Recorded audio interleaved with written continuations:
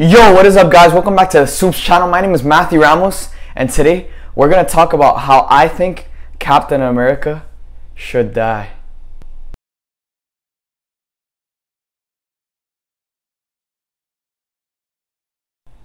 So at this point, I think going into Avengers 4, all of us hardcore fans are expecting Captain America to bite it in this movie.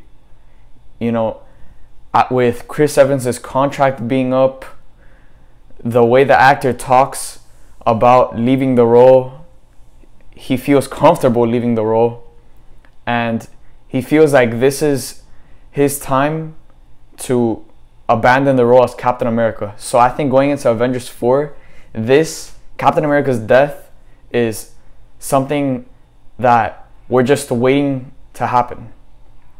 And I think this is how they should kill Captain America in order to get the most emotion out of the audience. So, in the scene, we see Captain America has a new shield and is also wielding Mjolnir fighting Thanos.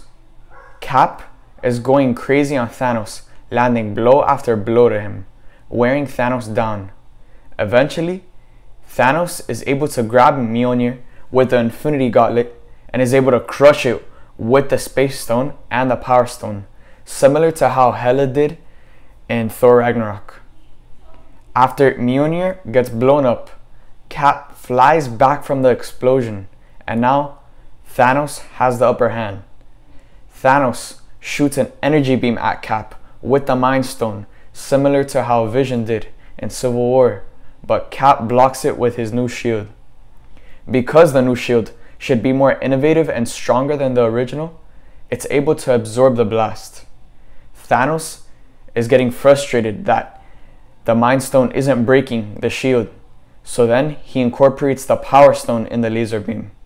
The shield then shatters.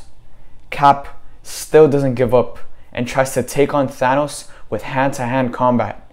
He's trying to land blow after blow on him, but he's getting too tired. Eventually, Thanos is able to block and pin him.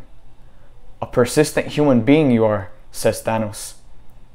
And Captain America, after exhausting himself from fighting Thanos, says in a physically struggling and emotional voice, I can do this all day. And those are the last words we will ever hear Captain So if there's America any way that Captain America is gonna die, the Marvel I think it should Universe. definitely be this way just because I think that having his last words to be I could do this all day. I think that quote just perfectly embodies everything about the Captain America character in the Marvel Cinematic Universe. You know, those were some of the first words we even heard from Captain America in the MCU in the first Avenger, which is his first movie. And hearing that quote being one of his first to then being one of his last, I think it's just a perfect full circle. And it's just, I think it's just a perfect way to have the character of Captain America depart from the Marvel Cinematic Universe. So let me know what you guys think in the comment section down below. Make sure to sub to the channel, hit that bell notification to get notified when I post videos. Thank you guys for watching. See you guys next time.